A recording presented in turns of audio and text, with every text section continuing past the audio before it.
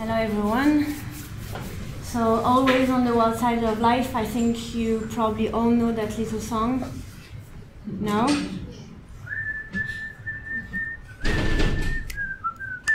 Well, now you will have it in your in your mind, and that you will associate that with fallow deer. So, was fallow deer always wild? Um, I believe that you probably know what fallow deer is, or if not, uh, well, I hope I will give you some uh, insight. Uh,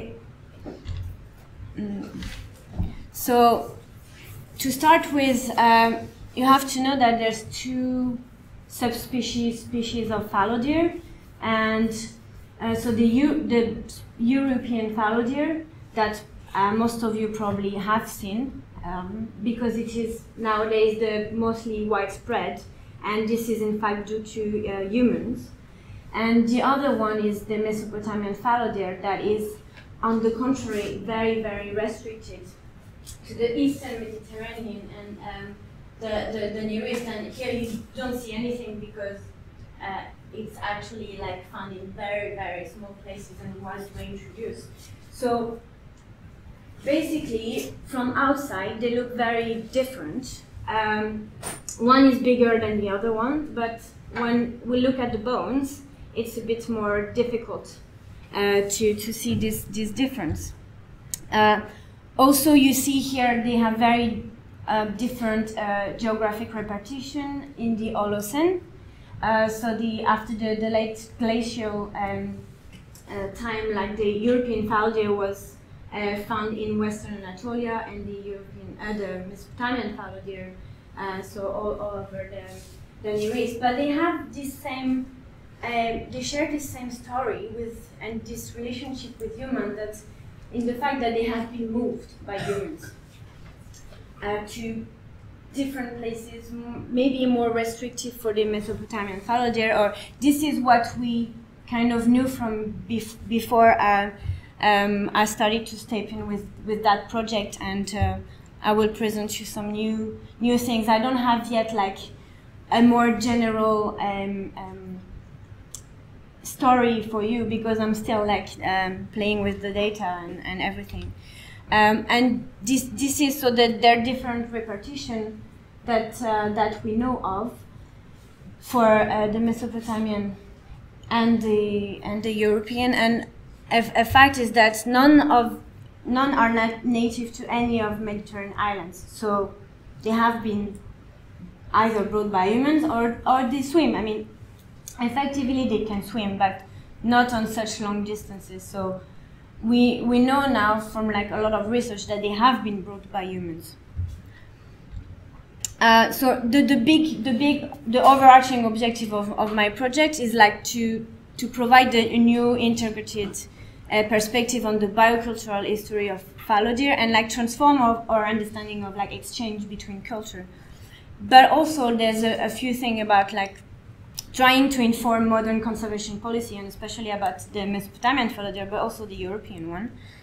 Um, and the so what I'm trying to do first in, in the in the archaeology archaeological level is like trying to differentiate the, the two species uh, because it's not it's not that easy and um, oh, there, there's, there's been a lot of things assumed but it's actually it's not it's not easy to distinguish and to, to track the follow deer, the fallow deer dispersal and therefore like human exchange and trades and also understand the specific relationship and how they have been managed uh, domesticated over time so I'm trying to use like different, or I will try to use different strain of data uh, after I am done with what I'm doing at the moment, which is uh, I'm using the geometric morphometric, which is the quantitative representation and analysis of morphological shape using geometric coordinates instead of linear. So we we get a more um, a more overall um, morphology is more we, we get more detail than just linear measurement and with linear measurement we cannot necessarily differentiate both fallow deer because there's a lot of overlap because you know that female and male are very uh, sexually dimorphic so there, there will be a huge overlap that we cannot necessarily tell them apart. Uh, so like one uh, bone that I'm working on is the teeth. So this is roughly my protocol um, where I'm using like fixed landmark and semi landmarks to try to get the whole geometry of the of the tooth. Um, so what I, I, will focus now on like Mediterranean islands because this is the topic of the session, but I'm, I'm working widely like all over Eastern Eurasia. Uh, so I will focus on Cyprus, and you see that there's a lot of sites uh, from different periods, and that was my main field work for a lot, for, for many years. And there's loads and loads and loads of material there. It's it's crazy. The, the, relationship that these people had with fallow deer is just amazing. Uh, and and then uh, I think in the abstract maybe I, I talked about Crete, but I unfortunately I won't have access to any of this material, so I have to drop it off. Uh, but I have well one sample from Sicily and and some uh, samples from Mallorca, and I will go there again after to get more uh, because it's very interesting. You'll see. Um, so if we go into the, the, the subject of the of the data, so just to just to show you uh, um, a, a, quick thing at first, so I, I did we do use like modern reference. So here you see like um, European fallow reference that is mainly from the UK, and the Mesopotamian fallow reference is a very small population uh, from Israel that have been reintroduced, and you can see like they're very very different. But the green in the middle, those are Paleolithic Mesopotamian fallow and you see that there's less overlap. So we thought like, okay, those ones are like really, really, really different. So that's probably a result to inbreeding and, and, and things. So that's just to keep in mind uh, the, the conservation informative um, conservation policy that archaeology can, can, can bring. Like this population is really, is really very, very different from one we see in the past. So past that, uh, my, my reference is therefore Paleolithic uh, Mesopotamian deer. And when I plotted the, the Cypriot samples, at first when I saw, I was like, wow, what is that? It's, it's not working, it's not working. Uh, but actually, so you see there's, there's not very much vari variance. I mean, it's only 33.6% and, and 21.8%. It's not, not very much. So you have to, you have to look a little bit further. And then when when you take into account the the third component, you can see that there's there's starting to be like a, a more differentiate between groups where that Cyprus is still like all over the place, and I was like, what does it mean? I mean, why? And so we, we try to test the, the, the, variance of the of the overall population. So that's that represents the whole sample from different period, and but for each period, there's a lot of variance. And we came to the conclusion, and that's the first, that those population are mixed population. And when I say mixed population, is like so there's European fallow deer and Mesopotamian fallow deer and possibly hybrids. And that's something that is very new because we always assumed before that it was Mesopotamian fallow deer that was introduced to, to the island. And I, I will come back to that uh, um, at, at the end. So the thing is, I don't have any DNA to confirm. The the the, the, uh, the samples are very badly preserved, so it will be difficult to. So in, in the state now, I can I can say that they're probably a mixed population.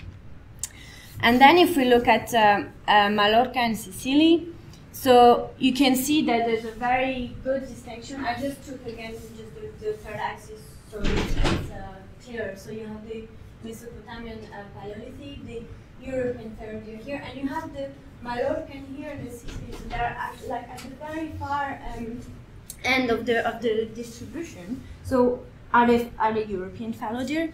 Well, for the for the Sicily, we know that they are fallow deer, and at some point they thought that they were red deer, but no, they are fallow deer. Um, and what about Mallorca? Well, from Mallorca, like the antlers says they look they look pretty much like European fallow deer.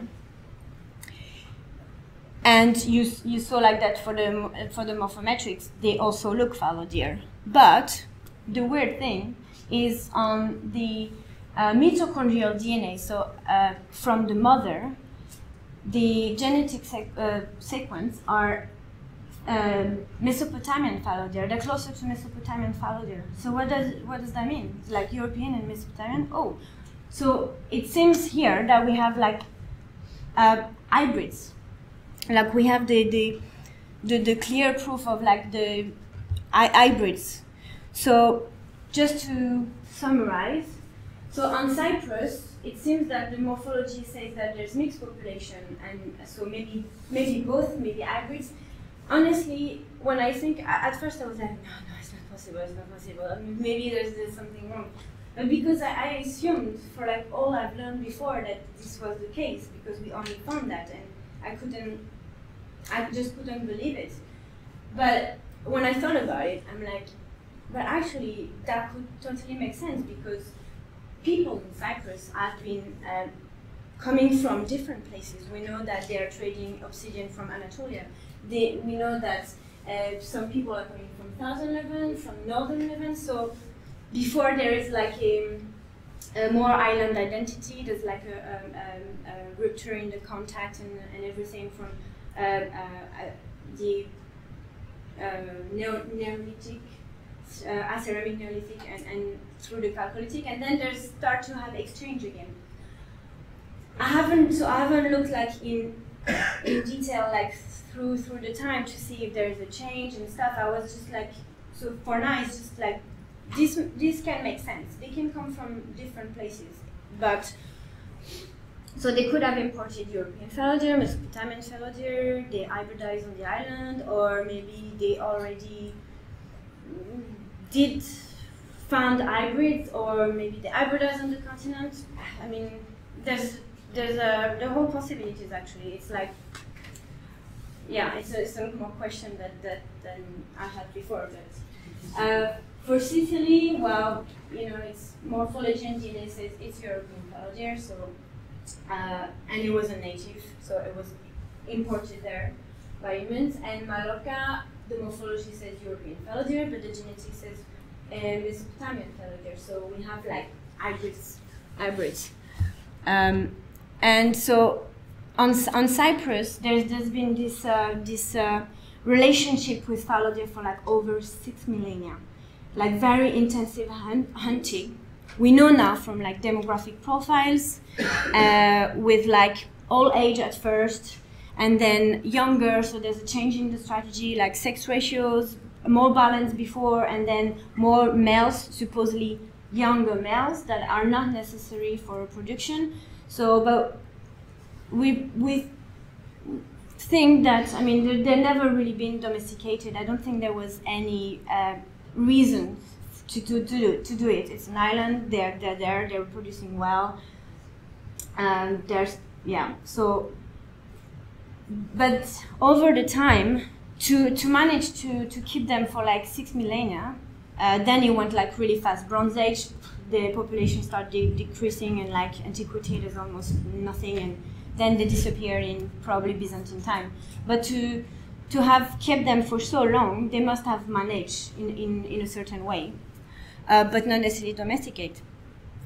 Uh, in, in Sicily, um, there's, there's not much I can say because there's very little material, uh, but it's from the Roman period, so it could be, I mean, most likely like uh, imported exotic animal that was kept in, a, in like a vivarium. And for Mallorca, so we, we know that there are hybrids. For the, demogra- the demographic profile, we know that we have like um, uh, young animals uh, and a high proportion of, of females. So it looks like they were kind of managed like a, livestock and but maybe a bit more extensive than a vivarium. So like but in still constrained area. Um, and we know, like for example, from Roman texts, uh, Columella and Pliny, that they mention the knowledge of like breeding and interbreeding between, between different species. So, like for example, between the dromedary and camel, and the uh, horse and donkey that uh, gives a mule. So, why actually why should it not have happened before?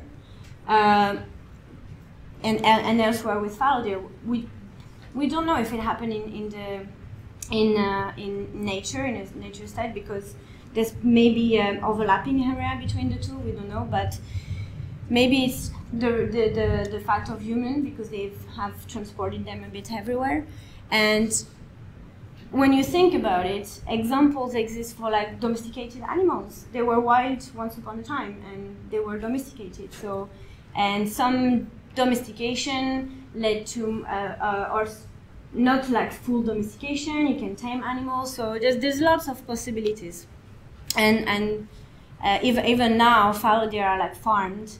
So are are they domesticated?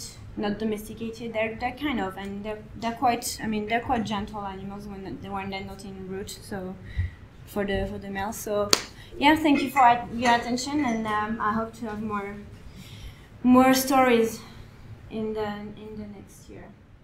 Thank you.